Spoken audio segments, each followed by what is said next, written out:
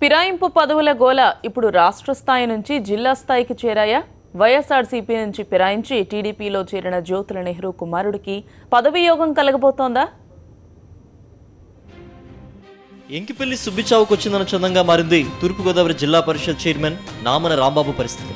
మూడేళ్ళుగా జిల్లా పరిషత్ చైర్మన్గా ఉన్న రాంబాబు గత కొంతకాలంగా నిద్రలేని రాత్రులు గడుపుతున్నారని గుసగుసలు వినిపిస్తున్నాయి.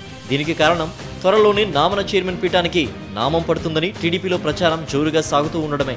వైఎస్ఆర్సీపీ తరపున ఎన్నికైన జగ్గంపేట ఎమ్మెల్యే జ్యోతుల నెహ్రూ గత ఏడాది టీడీపీలోకి ప్రయాణించారు. నెహ్రూతో పాటుగా ఆయన తనయుడు జ్యోతుల నవీన్ కూడా పచ్చకండుగా కప్పుకున్నారు. అప్పటి వరకు నవీన్ జిల్లా పరిషత్లో ప్రతిపక్ష నేతగా ఉండేవారు.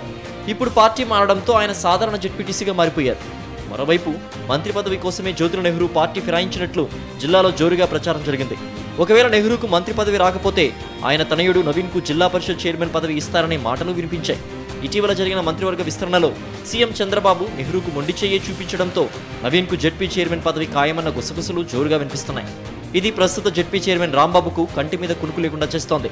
మాజీ ఎమ్మెల్యే పర్వత శెట్టిబాబు మరణం తర్వాత తూర్పుగోదావరి జిల్లా టీడీపీ అధ్యక్ష పదవి ఖాళీగా ఉంది. ఆ పదవి రాంబాబుకు ఇచ్చి జెడ్పీ చైర్మన్గా తప్పిస్తారనే ప్రచారం టీడీపీలో సాగుతోంది.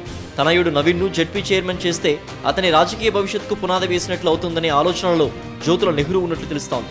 అయితే పార్టీ ఫిరాయించిన వారికి ఉన్నత పదవులు ఇస్తే టీడీపీని నమ్ముకున్న వారికి అన్యాయం చేసినట్లు అవుతుందని రాంబాబు వర్గం కౌంటర్ ప్రచారాన్ని ప్రారంభించింది.